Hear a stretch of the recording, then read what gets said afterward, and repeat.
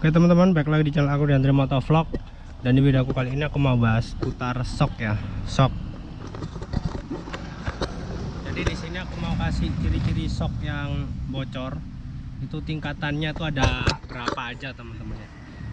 Tingkatan sok yang bocor yang pertama itu Jadi Kalau bocor pasti kalian bakal dapat tiga hal pengaruh sok yang ada di motor kalian ya ada tipe 1, 2, 3 yang biasa, yang standar dan yang paling parah nggak bisa diservis itu ada. Dan aku akan bahas di video aku kali ini teman-teman oke? Okay? buat teman-teman yang penasaran dengan video aku jangan lupa like, share, dan subscribe teman-teman oke? Okay? sip.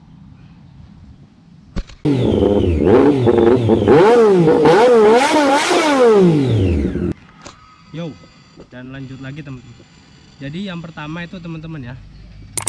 Jadi yang pertama shock shock fiction ya fiction yang pertama. Ini ada monosok. Kuning itu monosok dia. Itu monosok juga. Jadi yang pertama itu dia kalau shock bocor itu pastinya itu ciri-cirinya ada oli pastinya ciri-cirinya pasti ada oli yang merembes di bawah sini. Ini. Jadi yang di bawah sini di bawah sini ini pasti ada rembesan oli teman-teman ada rembesan oli dan fotonya kurang lebih kayak gini. Jadi rembesan oli itu pasti ada ya. Tuh ciri-ciri shock bocor. Lalu efek samping yang pertama itu yang paling ringan. Salah satunya itu adalah efek samping yang paling ringan itu salah satunya adalah yang pertama shock jadi keras ya. Shock jadi keras itu salah satu ciri-ciri atau hal utama atau level yang level yang biasa ya dalam perbocoran skok itu yang pertama. Level pertama itu shock keras jadi kalau kena ronjalan itu dia mesti bunyi dak dak atau keras nggak empuk kayak standarnya. Itu ciri-ciri skok bocor dengan level yang paling ringan belum parah itu. Jadi kalau kita nyekok itu atau kita jalan tuh di sini dia nggak seempuk kayak normalnya ada bunyi dak dak dak. Dak dak jadi kayak gitu teman-teman ciri-ciri shock yang bocor itu yang pertama level yang paling ringan shock keras ya. Itu kalian bisa servis belum terlambat ya. Atau kalian mungkin ada duit bisa ganti juga. Lalu yang kedua ini yang level sedang ya. Agak parah tapi enggak masih bisa dipakai yaitu shock yang bocor namun dia ambles. Dia ambles karena olinya itu udah hampir habis ya jadi dia ambles. Kalau keras itu tadi shocknya itu keras olinya masih ada dikit cuman dia nggak bekerja maksimal ya. Ada ngeganjel karena udah keluar semua olinya. Lalu yang kedua ini yang kedua ini kan shock bocor alias ambles ya. Kalau ambles tuh dia dia agak kayak gini nih shocknya ambles ya.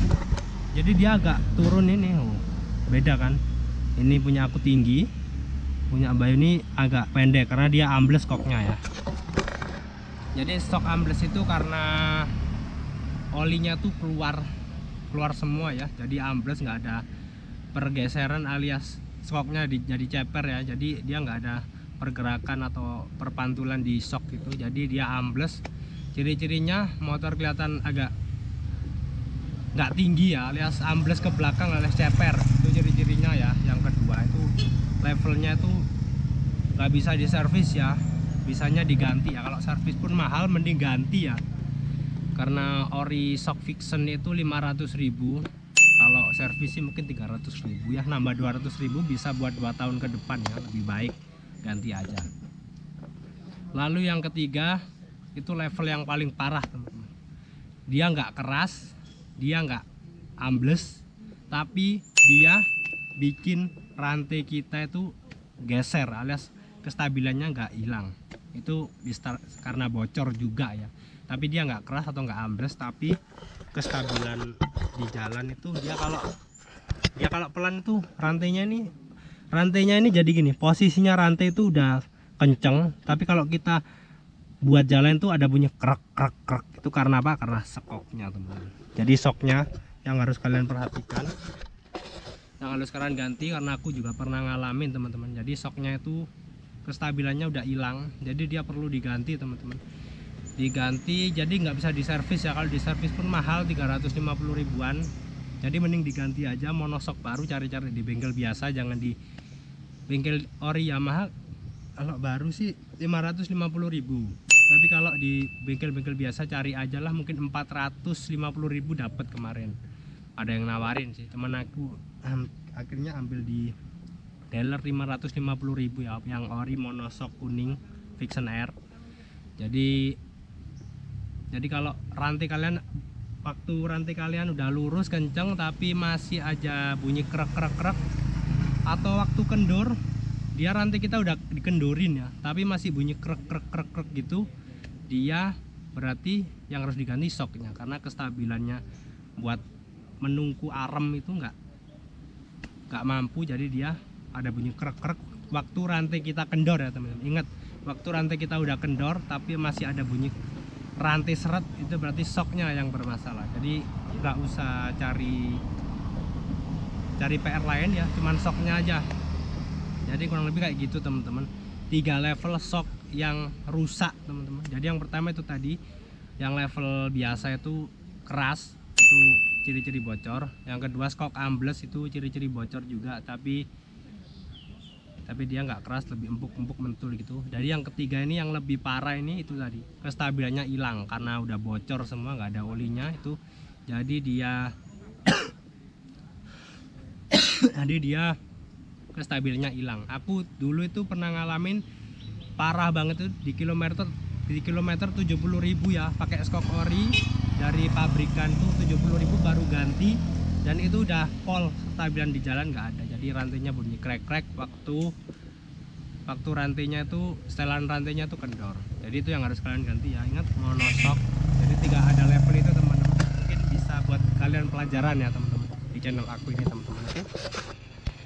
Oke sip. Jadi kurang lebih kayak gitu aja teman-teman yang bisa aku share ke kalian ya tentang monosok ini. Skok Vixen monosok. Kuning yang merah pakai ISS ini bukan monosok jadi kurang lebih kayak gitu. Yang bisa aku share ke kalian teman-teman ya tentang shock Vixen Air teman-teman. Jadi kurang lebih kayak gitu. Jadi buat teman-teman yang mau konsultasi tentang motor Vixen Air atau spare part spare part bisa DM IG aku di bawah sini di bawah di Andri Motovlog ya teman-teman oke? Oke tetap stay terus channel aku di Andri Motovlog sehat-sehat terus buat kalian ya. Dan buat teman-teman jangan lupa like share and, and subscribe teman-teman ya channel aku di Andri Motovlog semoga bermanfaat buat kalian teman-teman oke? Jadi ini aja video aku. Salam dari aku dan Motovlog kita jumpa di next video. Wassalamualaikum warahmatullahi wabarakatuh. Bye bye